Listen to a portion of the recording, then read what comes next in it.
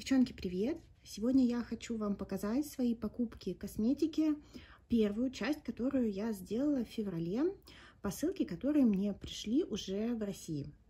Давайте начинать, наверное, будет, как обычно, по порядку нанесения макияжа, и давайте начнем со скучного, потому что первые единицы продуктов, которые я вам буду показывать, я открывать, к сожалению, не буду. Это у меня все идет в запас, я хочу, чтобы оно было свеженькое.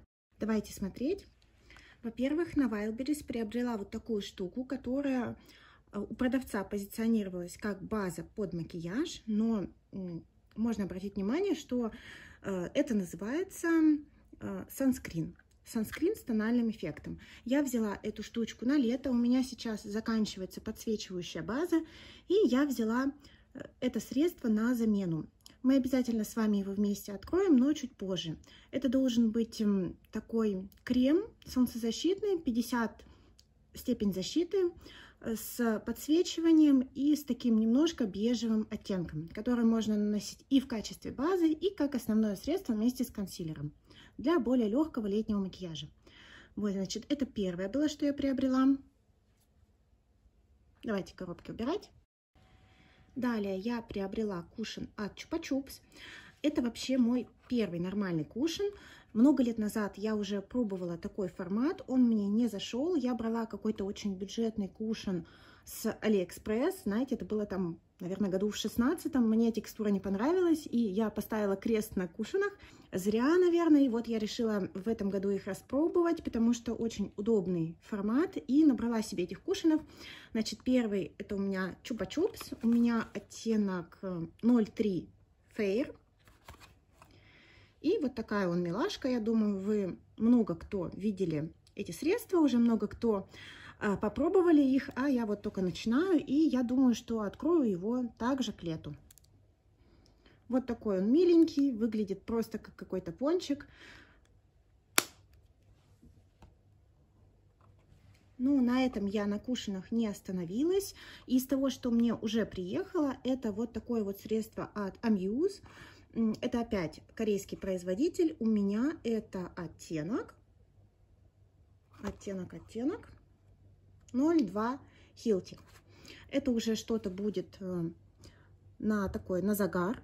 Вот. Э, если э, в Чупа-Чупсе заявлено покрытие полное и подсвечивающий эффект, то здесь также подсвечивающий эффект, но среднее покрытие.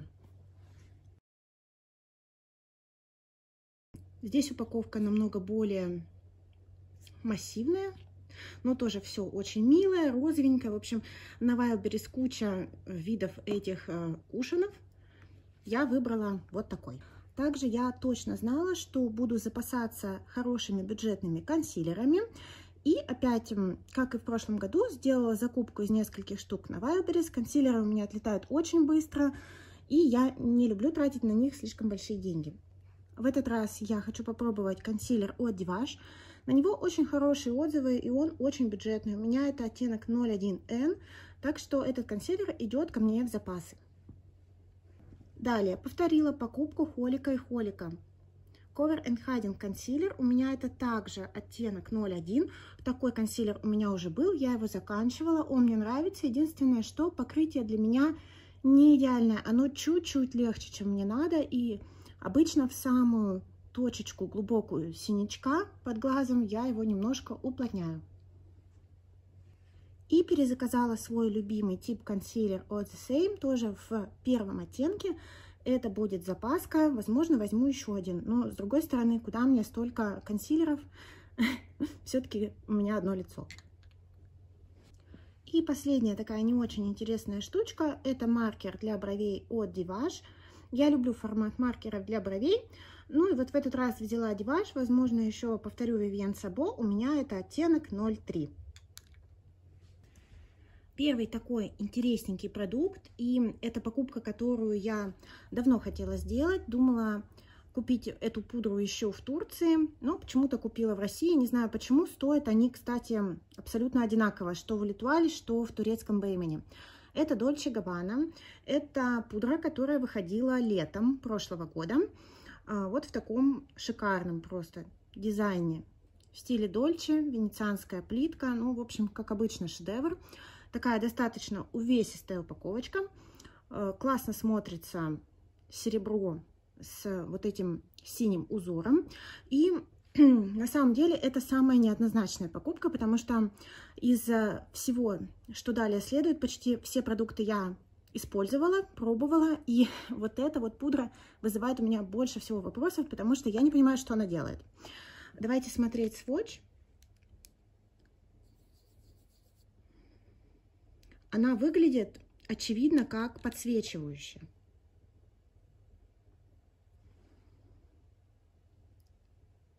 По сводчу можно даже подумать, что это тянет на слабенький хайлайтер, но она вообще не подсвечивает кожу. И если мы посмотрим по описанию, по названию, это э, такое средство, которое должно блюрить поры. Но дело в том, что когда наносишь это в Т-зону, то она не то чтобы особо блюрит. Я не могу пока понять, мне нужно еще больше тестировать. Такое впечатление, что что-то я делаю не то. Девчонки, расскажите, у кого есть такая пудра, потому что на нее очень хорошие отзывы. В Литве, насколько я помню. И вот, может быть, она у кого-то есть, вы ее распробовали, потому что я пока не поняла. То есть я думала, что она скорее будет подсвечивать. Ну вот прям видно, да? Это подсвечивание, но заявлена она как блюрище непонятно. То есть для меня неоднозначно, когда такой подсвечивающий, казалось бы, продукт наносится в поры, на поры точнее, да, наоборот, он будет подчеркивать рельеф. Короче, вот это вот я пока не поняла. Далее идут у меня румяна из того, что я хотела вам показать. И в отличие от пудры, это тот продукт, в который я просто влюблена. Во-первых, ну, какие они милашки. Это корейский бренд Lily by Red, если я правильно прочитала. И у меня оттенок румян 03. Я покупала их на Wildberries. Кстати, девчонки, я, наверное, ссылки на все покупки оставлю в своем телеграм-канале, потому что последние разы, когда я вставляла кучу-кучу ссылок в описание под видео, у меня видео очень долго грузилось. В общем, я теперь буду все ссылки на покупки и пустые баночки оставлять в телеграм-канале. В общем, здесь очень красивый оттенок. очень естественный. Приятно эти румяна наносятся, не залипают. Они полупрозрачные. Они не то чтобы очень пигментированные на лице. Я ими пару раз красилась, мне очень понравилось. Я жду, когда у продавца появятся еще оттенки, с удовольствием куплю. Оттенок 01 я жду и 02. Единственная тут неприятность, это вот такая очень тугая кнопочка. Обычно такие проблемы я решаю очень просто. Я беру пилку для ногтей и немножко подтачиваю вот этот пластик. Девчонки, для тех, у кого есть какие-то такие трудности с открыванием подобных застежек у продуктов, это всегда работает. Обратите внимание, кто не знает. Хайлайтеры. Из покупок хайлайтеров у меня должно было быть два в этом видео, но их только один, потому что вот один такой хайлайтер Clio Prism у меня пришел в первом оттенке разбитый. Это оттенок 02. Я его уже пробовала, Lavender Voyage. Наверное, все девчонки уже купили эти хайлайтеры, и они действительно того стоят. Ну, давайте и мы с вами тоже посвочим.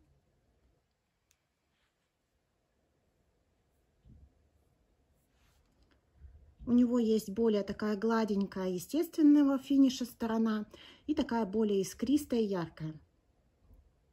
Я наношу сначала одну, потом другую. Смотрится он просто великолепно. Я обязательно буду перезаказывать в первом оттенке. Мне очень понравился этот хайлайтер. Жалко, что пришел битый. Давайте плавно переходить к покупкам для глаз. И первое, что я хотела вам показать, это вот такие кисточки от Manly Pro. Я их очень давно хотела. И взяла кисти из двух коллекций. Spring Morning она выходила в прошлом году. И э, Frosty Morning она выходила, по-моему, этой зимой. Вот так выглядят эти кисти. Очень красивые. Выглядит качественно. Мягенькие. Хорошо подстрижены. В принципе, я довольна покупкой. Я, если честно, как вы понимаете, покупала из-за оформления в первую очередь. Так-то у меня кисти есть и больше мне не надо. Вот эта вот кисточка из коллекции Spring Morning, она искусственная. Такая плотненькая, мне кажется, подойдет для консилера. А вот эти две кисточки, они из козы в перемешку с кукурузным волокном. Тоже очень приятненькие. Я еще их не пробовала, но уже заказала третью кисточку из вот этой коллекции зимней со снегириками. Из покупок для глаз хочу вам показать, во-первых, несколько штучек из того, что я покупала еще в Турции. И вот это вот такой дочерний от Clio бренд, он называется Twinkle Pop. В России он пока не представлен, но я думаю, что это временно. И это вот такие глиттер-стики от этого бренда. У меня в двух оттенках. Кто бы знал, где эти номера. Оттенок 11 и 13. Они полупрозрачные. На самом деле Таких средств сейчас полно, в том числе китайских. Это просто блесточки в карандаше, скажем так. Они очень красивые, красиво сияют. Я, если честно, взяла себе их, потому что после инвентаризации косметики, после того, как я внимательно посмотрела на свои палетки, я поняла, что у меня есть некоторые такие старушечки в палетках, которые я очень люблю, например, баксом, но в которых мне уже не хватает сияния. И вот чтобы что-то там подсветить на яблочке глаза, да, там или в уголочке, я взяла вот эти стики. В принципе, уже несколько раз пользовалась, они миленькие, ничего особенного, но в макияже помогают. Далее я хочу вам показать одну ушечку от Бобби Браун, которая у меня была в виш-листе еще с осени 23 года. Это их коллекция, по-моему, Moonstone Glow она называлась. И туда входил вот такой вот оттеночек однушки, который заявлен как Sparkle. У меня это оттенок Космик. Безумно, конечно, красивая упаковка. И такой э, интересный именно для марки Бобби Браун оттенок, потому что Насколько я помню, зелененьких, таких фисташковых оттенков они не делали. Симпатично он красиво смотрится. Мне, конечно, девчонки писали, что он далеко не оригинальный. Конечно, не оригинальный, но красивый. Я его носила. Он, конечно, на спаркл не тянет. Это что-то такое очень тоненькое. По формуле напоминает какие-то японские тенюшки. Выглядит просто так, спокойно, повседневно, интересно. На глазах, в принципе, я не жалею покупки. Она мне очень дешево досталась, эта однушка. По-моему, около 300 лир. Это где-то 900 рублей. Для Бобби Браун, сами понимаете, это просто даром. Теперь давайте смотреть палетки. И первое, что я достаю, это Clio Aton Breeze in Seoul Forest. Выбрала оттенки только из-за названия, потому что очень долго не могла выбрать. Э, все палетки там были примерно одинаковые на золотом яблоке, которые были в наличии. Поэтому я просто решила опереться на название. Вот. В принципе, симпатичная, типичная корейская палетка. Мне очень понравились матовые. Я красилась два раза. И, конечно, я очень довольна. Э, не смотрится это и не ощущается дешево. Это плотный, тяжеленький пластик. И я довольна. Когда будут скидки на золотом яблоке, возможно, я еще что-то приобрету от Клио. Хотя, если честно, я уже столько нахапала. Давайте посмотрим сводчи. Как ни странно, эта палетка достаточно пигментированная. И мне на мою форму глаза, на те макияжи, которые я привыкла делать, мне было достаточно углубления. И я вообще была очень довольна макияжем. И второй ряд теней нанесла за кадром. Давайте обсудим слона в комнате. Это вот этот глиттерный оттенок. Я им пользовалась. Я использовала его в микроскопическом количестве. Только на яблочко века. На серединку века подвижного. И он носился немножко тяжеловато. Я ощущала на глазах его. При удалении макияжа проблем у меня не возникло. Но вот именно в процессе было такое ощущение, как будто немножко перегруз на веки. Дискомфорта не было, но периодически э, создавалось такое ощущение, как будто ну, тяжеловато, не знаю, как объяснить. Но, в принципе, палеткой я довольна. Но с Клио я не остановилась и заказала себе еще палетку Soft Depth. Она мне понравилась намного больше, чем первая. Эта палеточка понравилась мне больше, потому что в ней нет крупнозернистого глиттера. Два оттенка, которые здесь сияющие, они в рамках шиммеров, скажем так, то есть глиттерами я бы их не назвала, они комфортные, этот очень яркий и очень красивый. А вот эти три больших рефила позиционируются так же, как средство для лица. И это скульптор, румяна и хайлайтер. Ну, все в таком корейском стиле. Как вы видите, на руке на моей видно. А, кореянки любят такие светлые румяна, они их наносят чуть ли не под глаза, и это смотрится на самом деле довольно освежающе. Такой эффект я тоже люблю, и я их использовала в качестве румян, и на мне было видно. Мне понравилось. Конечно, хайлайтер тут не вау. Прям не вау, обычный стандартный хайлайтер, повседневный. Мне очень понравилась растяжка матовых оттенков. Они очень хорошо, мягко ложатся в дымку. Такое впечатление, что тушуют вообще сами себя. И три блестящих оттенка светленький такой более тонкой формулы, искристый. Оттенок посередине это вот эта блестяшка, и он просто великолепный. В нем отдельные бронзовые, розовые, серебристые блесточки. Безумно красиво. И вот этот оттенок, он скорее как сатинчик для притемнения макияжа. В общем, я палеткой осталась безумно довольна. Даже подумываю взять второй номер. Shadow Gallery, по-моему, называется. Меня только смущает то, что там такие оттенки, которые обычно мне не очень подходят. И последняя палетка, которую я купила пока что, это Too Faced. Э, эту палетку, думаю, тоже уже все купили и все видели. Она в Иль де продавалась с огромными скидками. Э, это Too Femme серия, которая выходила чуть ли, по-моему, не два года назад.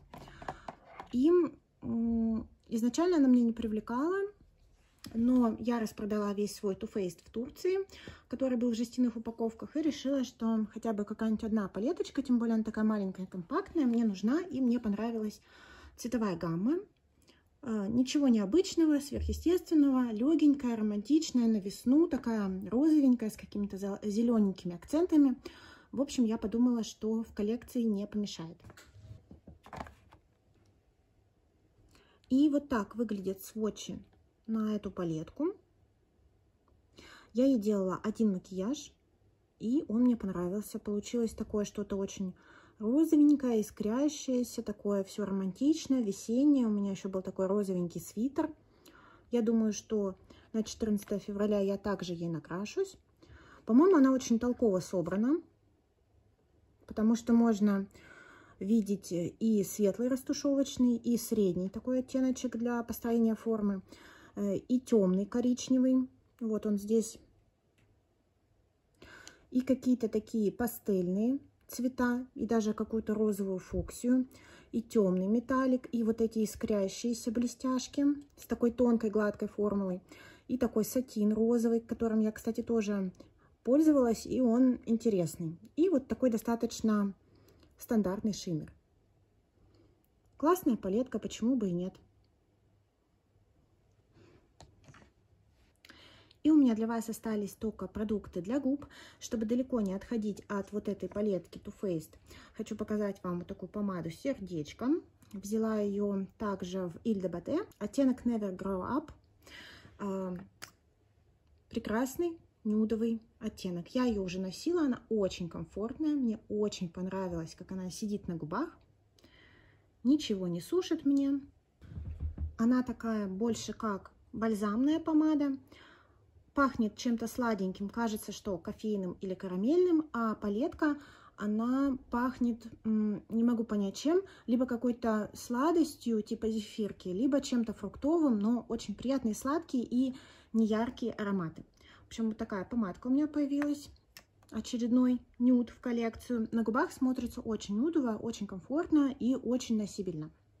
Также взяла себе карандаш от Influence э, на Wildberries 06 оттенок. Первое, что он сделал, когда он ко мне пришел, я его открыла, он сломался. Должен был быть это коричневый оттенок, но это какой-то бордовый.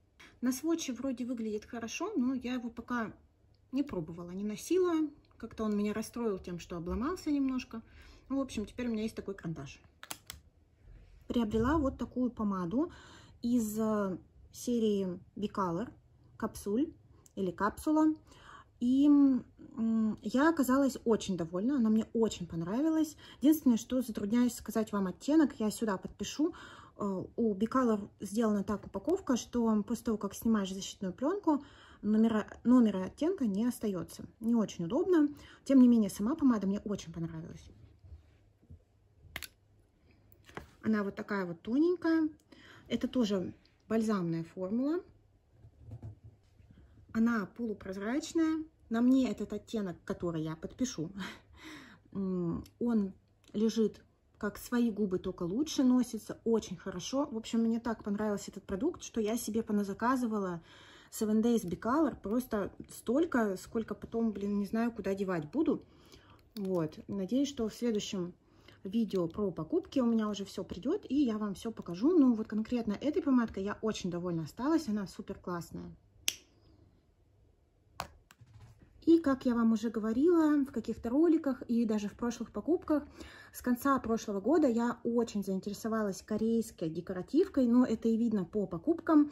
Наверное, потому что какое-то немножко затишье э, на рынке европейских запусков, то есть меня пока ничего там не привлекает, только копится виш-лист из инди-брендов, а вот Кореей я вновь заинтересовалась, раньше я пользовалась только ей, и вот последнее, что хочу вам показать, это несколько средств для губ, также корейских производителей. Во-первых, я взяла себе второй оттенок вот такого тинта Juicy Lasting Tint от Romand. Это 32 оттенок Burberry Smoothie. Это вот такой вот Барби розовый цвет. И сам тинт очень классно пахнет э, каким-то ягодным йогуртом. Либо клубничным, либо черничным. Очень вкусно. Такие тинты от Romand я очень люблю. Заставляю, уговариваю себя не набрать кучу оттенков, пока у меня только два, и я пытаюсь на этом остановиться. Также я взяла от них вот такую матовую помаду. У меня это оттенок 06. Не подскажу, как он на английском называется. И здесь, наоборот, такой коралловый яркий оттенок. Я подумала, что у меня очень много а, нюдовых оттенков, и можно и попробовать разнообразить как-то свою коллекцию. Вот такой это яркий цвет на лето. Мне чем-то формула напоминает э, вельветовую помаду от Givenchy, если я правильно назвала формулу, если нет, подпишу. И я не планирую плотно наносить ее на губы, скорее всего, такой дымкой легкой, и должно быть красиво. Ну, вот эту помаду я пока не пробовала. И последнее средство, последняя моя покупочка, которую хотела вам показать, это вот такой вот тинт в форме сердечка от Холика Холика. У меня это оттенок 08, да, э, Кодди. Кадди. И этот тинт меня разочаровал. Я его, правда, еще не носила. Но, чтобы вы понимали, этот цвет должен был быть нюдовым. В итоге он просто рыжий, и я не представляю себе, как я буду его носить. Возможно, надо просто попробовать в макияже и тоненько его нанести, тогда он будет как-то смотреться более носибельно. Как вы можете видеть, все покупки для губ оказались очень разных оттенков, и я этому рада, хоть какое-то разнообразие, потому что я любительница уйти в полный нюд, и в итоге одинаковые цвета в коллекции. Ну и по поводу тинтов, вот такой вот тинт оставляют средства вот это вот Романд, а вот это вот Холика. А это были все мои покупочки, которые я сделала в начале февраля. Спасибо, девчонки, что посмотрели это видео. Всем прекрасного настроения, отличного дня, отличных покупок косметических и не только. Всем пока-пока!